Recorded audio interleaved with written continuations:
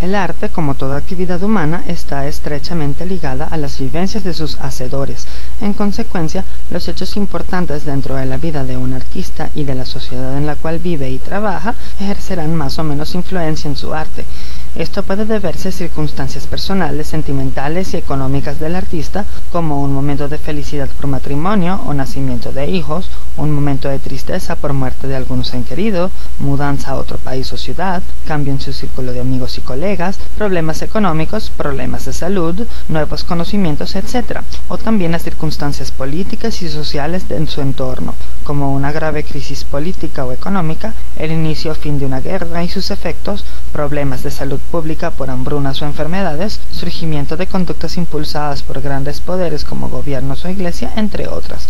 Todo esto hace que el artista modifique su manera de crear sus piezas, ya que afectan el acceso a los materiales, al presupuesto para su obra, a las ideas para nuevos proyectos y más. La danza, entendida como el arte del movimiento, es una de las actividades humanas más antiguas.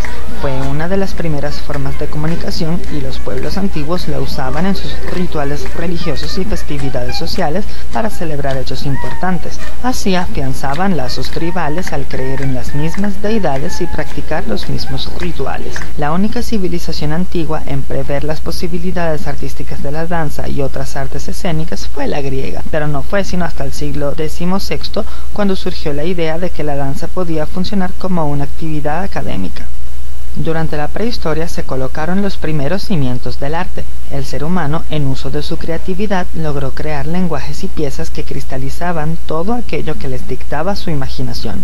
Así que presta atención porque esto es la prehistoria parte 2, arte. Dado que no se cuenta con un testimonio que nos diga exactamente qué y cómo pensaban los humanos de la época, lo que podemos es interpretarlo a partir de las características del arte que hacían. En las primeras muestras de arte de la prehistoria, las piedras fueron las protagonistas, instalando monolitos o menires, estructuras simples que contaban con una sola piedra larga dispuesta de manera vertical, como el de Évora en Portugal en el 5000 a.C. o el de Girl en Dinamarca por el 1400 a.C. Podríamos suponer que estos servían para marcar un sitio que ya había sido ocupado temporalmente por si el grupo se desorientaba y llegaba al mismo lugar, saber que ya habían pasado por ahí, o para advertir a otro grupo que llegara después que ya este lugar había estado ocupado. También se erigieron dólmenes o megalitos, como el Gangtilla en Malta por el 3600 a.C. o Stonehenge por el 2700 a.C.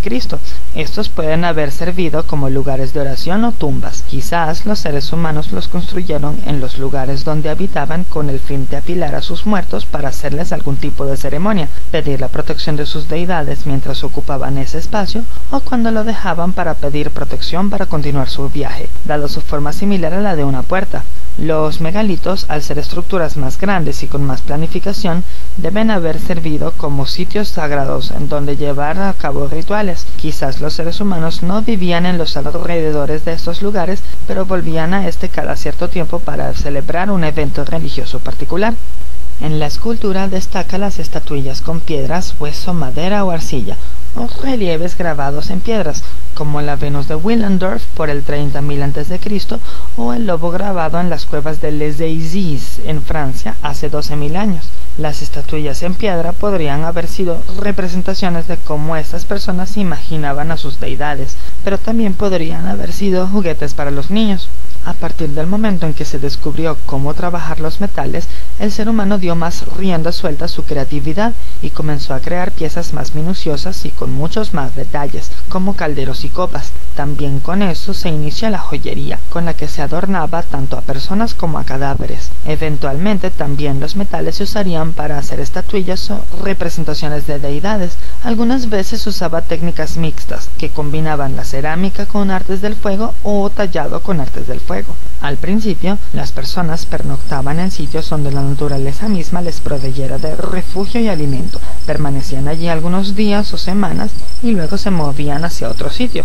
En sitios cercanos al Ecuador o donde el clima era más estable y cálido, ellas se refugiaban en cavernas poco profundas o zonas boscosas, pero en zonas con un clima más extremo y poco hospitalario, éstas se vieron en la necesidad de refugiarse en cavernas profundas, y en los sitios de pernocta fue donde floreció la pintura que se hacía sobre las paredes de esas cavernas, por supuesto rocosas, como las de la cueva de Altamira, España, cerca del 12.000 a.C., las de la cueva de Lascaux, en Francia, por el 14.000 a.C., y grabados o petroglifos como los de Tanum, Suecia, por el 1600 a.C., y los de Valcamónica, Italia, hace unos 10.000 años. Es posible pensar que los seres humanos los crearon para decorar un poco los lugares en donde se alojaban, así como hoy día nosotros pintamos las paredes y colgamos cuadros o fotos en nuestras casas. Sin embargo, dado que para esa época las tribus todavía eran nómadas, es difícil imaginarse que ellos les sintieran como un hogar, porque de hecho no iban a permanecer ahí mucho tiempo. Es más probable que ellos las crearan como un pasatiempo cuando el clima era muy inclemente como para transportarse y debían permanecer algunos días más en la misma cueva. También podríamos pensar que la pintura servía para llevar un control o registro de sus actividades diarias, como una lista de tareas, o quizás una manera de enseñar a los niños las costumbres de la tribu. Así también aplicarían las tintas sobre su propio cuerpo dando origen al maquillaje. Cuando el ser humano se volvió sedentario, tuvo que construir los sitios donde iba a habitar. Así surgieron ciudades o ciudadelas como Sesclo en Grecia, cerca del 6850 a.C., los Millares en España por el 2000 a.C. y Villanueva de São Pedro en Portugal alrededor del 2700 a.C. Dado que la danza es un arte viva que solo existe mientras se ejecuta, era muy difícil en esta época dejar un respaldo que probara su existencia. No fue sino hasta la invención de las pinturas rupestres que los seres humanos pudieron plasmar gráficamente personas bailando. Esto nos sugiere que para este momento ya las personas tenían danzas que se practicaban en momentos específicos con pasos preestablecidos y con estructura clara. Y por supuesto ya también se habría desarrollado la música que las acompañaba. Una primera forma de teatro nacería a partir de la expresión corporal, con la que las personas imitaban la conducta de los animales o de otras personas, pero luego este serviría para representar los mitos y leyendas detrás de las deidades en las que cada pueblo creía. Con el desarrollo de las lenguas se podía incluir la palabra en estos mitos, naciendo así la dramaturgia. En el caso de la música y el canto, siendo que éstas estaban condicionadas por la religión y los eventos sociales, así como la danza, podrían haberse desarrollado con el fin de marcar la duración de un determinado ritual y si el mismo se daba en varias fases, cambios en el ritmo, la composición o la instrumentación podrían servir de marca para dar fin a una fase e inicio a otra. Esto también podría incluir los momentos en los que se bailaba y los que no. Casi siempre las danzas se hacían de forma circular o semicircular en torno a un objeto de adoración o un chamán. En la medida que los gobernantes fueron amasando más poder e influencia, también ellos querían tener la atención de las personas y así surgieron las danzas sociales, en las que generalmente se celebraban hechos concernientes a la vida y obra de la clase política o a las clases económicas privilegiadas, y generalmente las danzas se orientaban hacia ellos. Cada pueblo dejó su propio respaldo de sus prácticas dancísticas en pinturas, relieves, tallados, vasijas o murales. De entre las grandes civilizaciones surgidas en la antigüedad, el antiguo Egipto es la más conocida y apreciada hoy día. Los egipcios en el terreno artístico destacaron en su arquitectura y escultura a gran escala, destacando la gran esfinge de Giza por el 2600 a.C. y las pirámides, siendo las de Giza las más famosas, construidas por el 2570 a.C.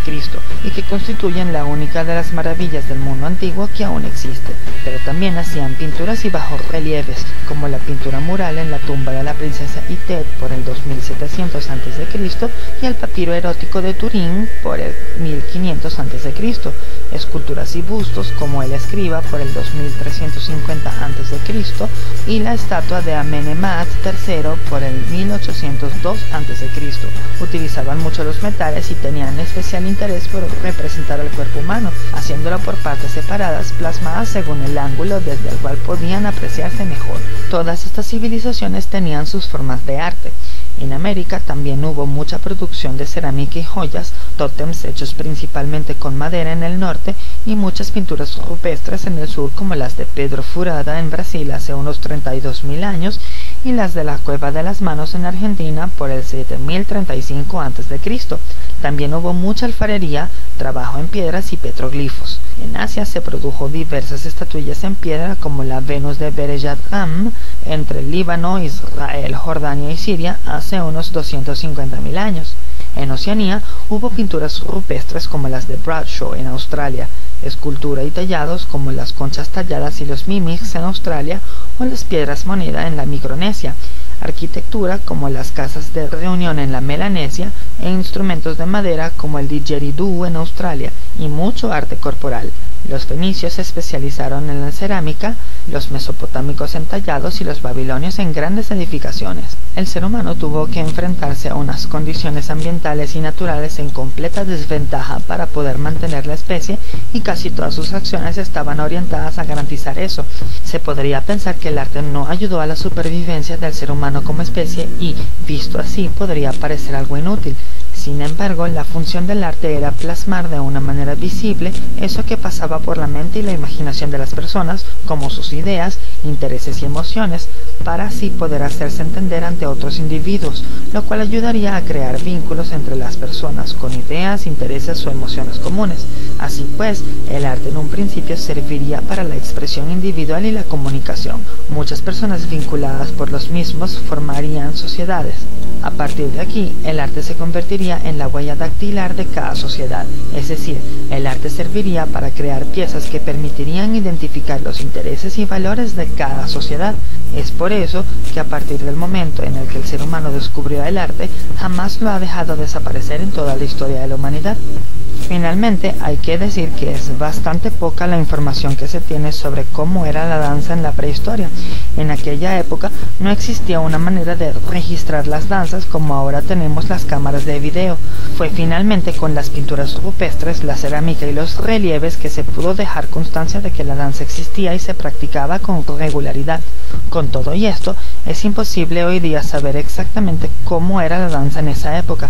Lo más cerca que se puede llegar está condicionado por lo que revela las evidencias arqueológicas e históricas del arte, más las danzas y culturas de pueblos que han permanecido con muy poca influencia extranjera hasta el sol de hoy y que aún tienen costumbres de hace cientos o quizás miles de años. Esto sumado a mucha imaginación necesaria para llenar los vacíos de información. Tras la invención de la escritura hay grandes cambios en el arte, ya con idiomas suficientemente formados para poder comunicar la inmensa mayoría de las ideas, más la evolución de las sociedades, más la escritura, los artistas buscan maneras de estudiar mejor su arte para hacerlo más sofisticado y meticuloso. Esto hace que haya muchos estudios escritos sobre diferentes tipos de arte. A partir de aquí, destacan dos civilizaciones que han dejado grandes aportes a la historia del arte, la antigua Grecia y la antigua Roma. Espero que te haya gustado este video y también espero que te haya servido para entender un poco mejor de dónde provino el arte y cómo era el arte en la prehistoria. Si así fue, te invito a que le des me gusta al video, dejes un comentario en la caja de comentarios abajo, te suscribas al canal o lo compartas con tus amigos. Y tú y yo nos veremos en otro video.